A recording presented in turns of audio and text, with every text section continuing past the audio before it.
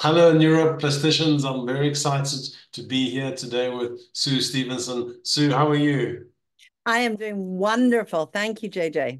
No, it's so good to have you on the, the channel. I'm really interested to uh, to spend some time with you. Your reputation precedes you in a good way, and Thank you. uh, and um, your your your books and your training and your coaching it really is considered best in class, Sue. So I, I don't want to I want, I want to set you up for um, imposter syndrome opportunities, yeah. but it's it's but it's really great to have you here. But I think, I mean, let's start at the beginning of what got you interested in uh, applying neuroscience and building your own neuroplasticity. Maybe take us back to the dark ages when things needed to change for you? um, I don't know which dark ages I'm going back to. No, when, when you got when you got your um anyway, I'll let you speak. I'll just listen. Not at all. Um I got interested in the brain as many of us do because mine kind of went a little bit crazy for a while. That's right. And I don't, I didn't know why it was going a little bit crazy. You know, headaches, and you have stuff going. I'm like, what's going on here? So, um, basically, I, I, I took time in COVID to figure out why on earth, um, having something wrong, what caused that? So I began to write my a book, and the book is written for people like me who felt they had to push through. The, the phrase push through is really important. Mm. We had to push through in COVID. We had to push Very through good. people who do dialysis or who are on chemo. We have to push through every day. I'll just get through today. I'll just get through another day. And um, so this concept, and as an executive woman, I was pushing through exhaustion, travel fatigue, presentation mm. after presentation. You had to be on all on the time. your top game top game, 100%. I did nine years nonstop. I would go home after eight weeks, wow. having been on the road. And then wow. somebody would appear at my door, a courier with another ticket and another little Ambien on top so that I could no fly to mm. another country and present the next morning, but I could sleep okay in the plane. So um, I learned about Ambien and the impact, the negative impact that had on sleep. So all of these things built up and built up over time. So when I began writing, I began researching more and more about what might have gone wrong. How did I miss all of these signals that people um, face, but that sometimes they recognize as a problem? Right. I did not. So um, I wanted to write and to help people become aware. It was about awareness. Okay. And um, so I wrote a book that was a blend of science and story. I wanted to really understand the science so that I was writing from a, as much evidence as I could, not Love just it. personal story. So blend of science and story. And my basic belief is that we can change and we can take steps to change. And so how do we do that? How can we take either our thoughts, our beliefs, our behaviors, our habits, and change many of them. And I realized I had to change a lot, but the brain can't handle a lot at once. So, how was I going to manage this transition and mm. which changes were the most critical? So, I kind of figured out how do you change your brain, which ones are more important. Um, but learning that the power to change the brain really is is neuroplasticity. And I love the, the reference that you made to behavioral change. Um, maybe it's cognitive behavioral, maybe it's cognitive emotional behavioral, but at the end of the day, I'm a behavioral scientist. Um, so tell us uh, about what behavior changes facilitated that neuroplasticity, Sue. Um, some real basics one which we don't think about. I, I often think about the social brain. And I think social change is so important as well. Yeah. So important and because I'd been doing this crazy, crazy travel and crazy work hours and losing, you know, connections with many of my friends, and I am a social person, but I just lost them. And then, you know, I'd be exhausted or too exhausted to go out. And so I decline. So the first thing I mm. did literally the day after I got diagnosed that I had a um, potentially life-threatening um, problem was I went and got a dog. That sounds weird. And then, well, that was not a human, but it got me moving. It got me so important. Change sure. my static sitting. I mean, I do a lot of standing in my chair. Right. Stop sitting, move, get out, go out, talk to people um, with dogs. Brilliant, brilliant. I'm sure you've met. I'm sure you know Liz very well, and her, and her friend called Murphy. Or, right. Yeah. Anyway, I distract myself. Sure, this is so interesting. I was going to say then, you know, I thought, well, how do you get friends back? So I thought I'll have a dog naming party. So I just built on basics. So I needed to move, to eat, to socialize. So what do I need to do? The dog was foundational for all of that. And then begin mm. to tackle the harder things, you know, those things that are so deeply ingrained. Um, so, for example, um, I began learning about toxins. I invited a friend over and I went pretty dramatic. And she helped me throw out every piece of makeup, every piece of cleaning material, every piece of fabric that was not natural, wow. everything in my house that had toxins and chemicals, every one of them. Wow. And particularly lipsticks and makeup and stuff. Oh, how anyway, I'll I'll stay away from my lipstick story if you don't mind. Um, I'm going to ask you about. I'm going to make a note.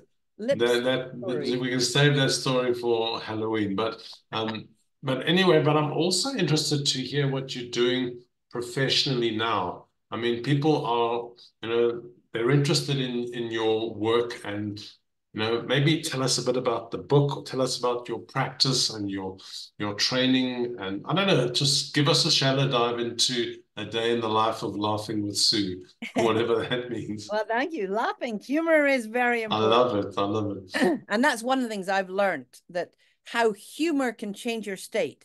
You can't laugh and be mm. anxious in the same moment. So unless, you, unless you unless you're on stage and you're doing stand up. but still, in that moment, I think the anxiety is switched. There is a. You know, I, I, I, I want to just interrupt you for a second, but I have a dream, ah. and my dream is to do stand up, ah. and I don't. I don't know if I ever will get to it. I don't know if it actually is a dream, but it is kind of like a mischievous hunger lust. Um, and the, the, the, the idea is to use the science of neuroplasticity and build that into humor. Um, and, you know, there are, are so many opportunities to use the science, he says so cunningly, to make a joke about what the brain does. And and in your your your, work as an expert in, in laughing and humor and the social power of of this is I don't know I want to just get into this for my own pleasure Sue. So tell me about the conference around humor. Tell us a bit about your work in this environment. Please humor me. Um well, we I have a colleague called Karyn Buxman. She has named herself as the world's only neurohumorist. And we've got to bring good. her in here, by the way. Please, so. I think it would be a laugh to meet her. She's fabulous. So we co-wrote a white paper, Humor and Coaching. Love it. And I wrote it from the perspective of the brain. So I brought the brain and the behavioral elements, and she mm-hmm. brought the she's been studying humor and the brain for 30 years. Oh, so I can't wait to meet her. Can you share that that paper in the NPN Hub? I think it'll be great reading, at least for me and whoever else wants. So if you can share it with Shireen or even me, I can drop it in, or you can drop it in if you're in the mood. But yes, I'd love to read that. I will share it in the hub, but for now, someone can just go to coachingwhitepaper.com. Okay it'll come up with a turquoise box and then you just enter your email. Coachingwhitepaper.com. Yes. I'm in. I hope you're listening. There's an opportunity for our research hub to look at that. Yes. Thank you, Sue. And we are going to, um, the more I've learned about research, we're actually going to expand the population and we're going to be a bit more robust. Uh, we've only got about 216 people so far and we've noticed some gaps. So we're going to be more robust in our, our second round of the research. So um, there is a whole community within that are interested in looking at research. So Amin, as I mentioned, is leading that community. Mm. So in a, in a month or so, we're having a conversation around that. So please, okay. please, please bring your handicrafts to the marketplace. Will do. Will do. So, yeah, and the um, so we we are always talking about brain and humor, um, and we have um, uh, so the Association of Applied and Therapeutic Humor um, have really got we've got a research arm which Karyn and I have been part of called the Illuminati, Wonderful. and Wonderful. we look every month at what new research comes out linking humor um, and and the brain, humor and well, humor and anything to do with research, and usually it's health. Health is a big one. Right. So we work on that, and then so we have a conference coming up in April in Denver, uh, the Smile High Conference, and uh, is it is it is it on? It's it's not um, going to let us go down the the, the Matterhorny road. You're but welcome in, in to join us for that. No, no, I mean, please, please tell us. Please well, drop the information into that. Um, um, I, I mean, if I can get over, where is it going to be held? Denver, Curtis Hotel, the fun, most fun hotel in the world. Every floor is themed. So we have a theme on on uh, music, on on cartoons, on Barbie. Oh, I don't know if you've seen the Barbie movie. What a legendary movie. Anyway, I distract anyway, myself. Is, you know, about 160 people often, and they're both interested in humor, research, for education. Um, you know, I talk a lot about the brain. We've got a lady who's written a whole book about neuroscience and humor. So I wow. will bring those. those... Is, is there a neuroscience level at the conference? Um, not fully, but a lot of us do talk because what we're we're we're learning more about is how humor changes our brain and allows us, therefore, to change more of our habits and change our behavior because of the way that we we use humor. Mm. I'm so I'm so amped about this. Maybe we can get a neuroplastician level, um, just to just to just to have a laugh about the neuroscience around the brain. Right. So, you know, I, I I think that's enough about the conference and you know, Denver is a funny place in its own right. But I'm interested. I'm interested to learn more about the the possibilities uh, and the impossibilities that you speak about of neuroplasticity and how it relates to coaching and the body and the brain and social and emotional dynamics and health and well-being and behavior change so I'm, I'm really looking for a an overview of what would Sue do if she was asked to overview her own book. So give us give us a shallow dive into what the the new book's about, Sue.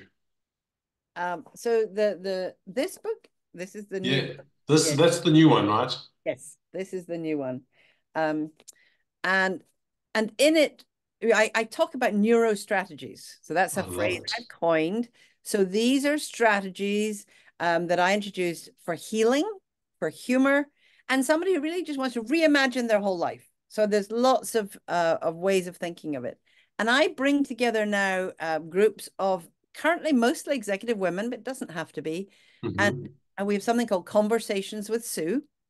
And we sit and we talk about, um, in fact, I have something right here, Conversations with Sue and uh, we talk about a number of topics. Oh, it's so awesome. Hold it closer. I love the graphics.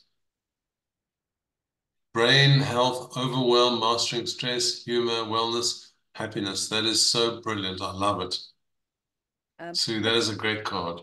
So yeah, people bring new research. They they talk about their own journey. They talk about what are they learning about the brain and how can they um, mm -hmm make change and then people support each other with sustainable change and and accountability and how they're doing with changing their habits because we mm-hmm. know it's mm-hmm. a long haul it's not just oh i want to change that let's change it sure sure it's it's not a switch it's a it's a habit it is yes um, yeah so, so i mean um, Sorry, give us an example. And actually, don't do it now because we'll never, you and me will never get out of this. I'm wanting to, you know, to have a, a shallow dive into your book and hear more about it. But maybe we should actually have it as a book reading um, mm, event like in that. the hub. So yeah, yeah. I'd i know you're you're you're a great reader, and I know the work that you're doing with children is so important as well. So I don't know, a book reading, a, a round table, maybe a masterclass around humor, maybe everything above. Um, I don't know. I love all of those. I am yeah. very I'm here to share. I'm here to learn. I'm here to connect with like-minded people. I'm just so excited about all of the different directions we could go. You know, one miracle at a time. Let's let's let's let's have a let's have some information and a reading session around your book, and then let's have a discussion or a roundtable either as second part of that event or as a second event. Mm. I don't know how much reading would you like to get through in us in that how, how long would you like to read for? Sometimes i think it's worth like reading you know for five minutes and then discuss. Okay cool cool and then discuss. And then people then you could say here's a list of five topics. Which one would you like to go to now? I love it. And we just go that way. We can flex. Yeah i love it. Okay so i'll just follow your lead on this. I, I haven't i haven't uh i don't know how to do this so obviously you will do a great job so let's let's let um Shireen come back to and set up a date. I don't know if she has any dates that she shared with you yet. Has she given you any? Not yet. No. Okay. Anyway, we'll we will we will get you on the on the on the speakers uh, roundabout and get that. So yeah, this is going to be so much fun. Yes. Um, I mentioned to you that I, I started the San Diego Brain Club, and this is our hat, so I do have to. Oh, that's the coolest thing. That is so cool. Where did you find that? Did you make it or? No, I, I wish I could say I made it. No, I got it online from me and my co-founder Ariane. Oh, wow. I'm so eager to have one. It's it's the Neuro Nerd Cap of the year, isn't it? The best. I and love I, it. I have my shirt. It's all neuros. There's a picture of the brain. I mean, I, oh, I, you're you're you're at the top of neuro paraphernalia. I love it. uh, I love it. Club, I was going to say we have this brain club, and the structure kind of would lend itself to some um, events within uh, the NPN mm. So, for example, we we we have a topic every month. Uh, we do meet face to face, but it doesn't mean it can't be virtual and we we take a topic. So for example last month was the brain and the disorganized mind. And you know we we we if you're on zoom you can have a glass of wine you could you know just but it's a conversation um people don't and we give out papers in advance. So we post like 20 research articles or videos or things people to learn. And then they bring their own ideas and we discuss and we debate. And then we have brain healthy food and mm. food is labeled what does it do to the brain? Like you know almonds or Brazil oh that is so cool selenium from brazil nuts. Um but we're we're looking to kind of figure out could we expand that? My co-founder wants to take this to prisons to africa. She wants to expand this whole concept wow. around I mean, the world. i mean, I mean there's, there's actually like a, like a great opportunity to have that discussion in the npn hub and to say you know what you know what is the what can we facilitate to get this this forum out? I don't know. We obviously do it on on Zoom, but where are you? Where is this? Where about in the world? Are you in California? We're in California right now. We we're really just in San Diego, but um, you know, I've got people in Canada saying, "Can we start a brain club?" We've got people all over saying, "Can mm. we start one?" And we're trying to think: Do we want to just give them the information and they start it, and we just connect loosely, or do we want to make it more formal? I think we're in the loose the loose direction. Get that going within the NPNM. You're going to get so many people gung ho for that soon. We can definitely, you know, we've got hundreds of members already, and they're all going to be, well, not all, but there's definitely going to be an interest because these people are curious about the same topic, and having that forum is exactly what we are trying to do as well. So let's scrum down with your friends, make them uh, join the NPN hub as well, so we can I will so work we can stop. That. Yes. Very good. Well, you know, maybe there's some people in uh, San Diego that can that can uh, trespass into your brain club and oh um, they're always welcome always always always welcome i'm trying to think who's in san anyway i'm distracted let's let's focus for a second and let's get this uh the session about your book in the calendar and we can we can have fun with that and we can enjoy the learning from you. So I don't know, let's round up there, Sue, before I carry on too long. Anything else that I, you wanted to share or anything else that I've missed or what do you I think? think? that last question you asked about coaching, and I have not mentioned coaching, and that is the basic of my business. I should right. coaching. what is interesting is when so recently I you know I got invited to be interviewed by um, an executive. He's picking his coach, and during those discussions, I always say, how much interest do you have in the science behind behavior? That's the way I phrase it normally. Very cute. I like that. I like that. And uh, this particular client, he selected me and he said, I selected you because of the evidence based and the science. so I began working with him. I worked with him yesterday. And he said, I am so happy that you bring that science into the conversation. He said, because, for example, he didn't understand how his behavior, he's a brash, big New Yorker, and oh. he fixes. Is, is, is, is his first name Donald? no. Uh, we're not going there. I, I, couldn't, I couldn't, I couldn't, I couldn't resist. Sorry. I know, I love it though. I love it. Um, and he said, he said, I didn't understand that I'm actually creating threat every time mm. I say this or I do that. I create threat, and I didn't understand that they may no longer be fully listening and fully mm. engaged in what I'm saying because I've caused a bit of a, a diminishing of their attention. And he said, I just love that I understand the implications of my actions from a brain perspective. He said, mm. now I know how I've got to change. So we're now focused on getting into the. There's another line of conversation that I'm going to mention, I'm not going to go into, but this is the topic that a lot of neuroplasticians struggle with. And that should you lead with the science or should you pepper your coaching with it as it comes in? But it sounds like what you did is a very elegant slash intelligent way of of informing your coaching practice with the science. So yeah, do you I recommend do you do you recommend that neuroplasticians should lead with that or what, what is your take on it in your own work? I ask permission.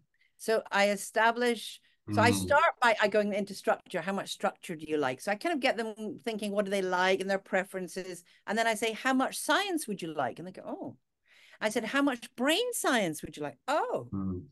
I said, would you like, as we go through our engagement over the next year, would you like us to talk? Would you like me to bring up something when I know that it supports what you're saying?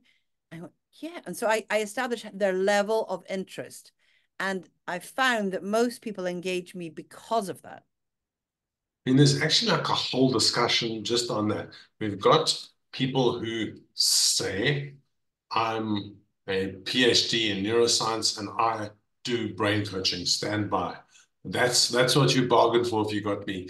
There's other people that say, well, I won't mention the brain because it might intimidate them or it might be not what they're here for. So the, way that you framed it in your coach friendly language is definitely something worth exploring in the NPN Adelaide, but we there's enough on the plate or in the uh, neuro hat on your head that we can get lost in. So let, let me try round up and let's focus back on doing the book reading and having a discussion and all shall follow, said Caesar or whoever made that quote. I can't remember.